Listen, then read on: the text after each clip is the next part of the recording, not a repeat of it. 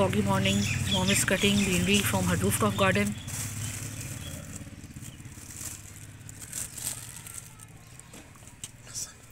And this is garlic, home garlic. It's so much cold,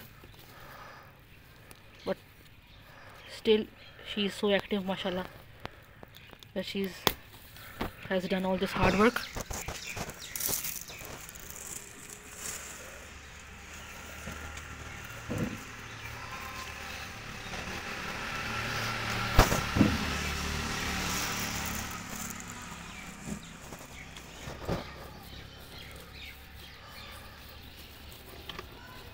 You can see garlic plucking live.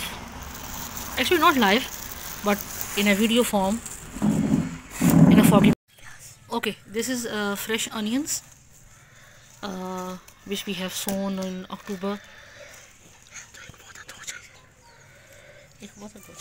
Two two. And you can see here with there is no visibility